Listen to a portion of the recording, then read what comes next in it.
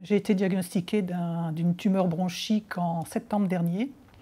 Et euh, ma sœur étant décédée au même âge que moi également d'un cancer bronchique, j'ai donc été orientée par euh, mon pneumologue vers, euh, la, vers Stéphanie, la psycho-oncologue de, la Louvière,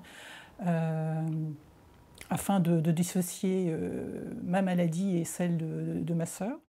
Stéphanie m'a donc orientée vers euh, Alexandra, qui est la coordonnatrice euh, du parcours de soins à, la Louvière.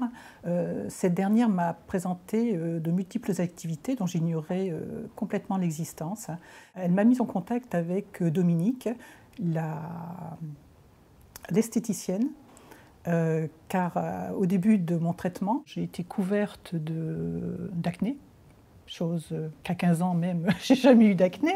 Donc, euh, ben, qui dit acné euh, dit un peu rejet de, soi, de, son corps. Et Dominique m'a permis, au travers de séances très calmes, très douces, très, très zen, de me réconcilier avec mon visage. J'ai vraiment perçu autour de moi tout le fonctionnement d'une équipe en, en coordination et des, propositions d'activités qui m'ont été faites euh, par rapport à ma personnalité. Et euh, ça, c'est très important de se sentir euh, reconnu en tant que, que, personne. Parmi mes proches, que ce soit mes enfants, nos amis, ils savent tous ce que je fais à la Louvière et ils sont stupéfaits de ce qui peut être offert.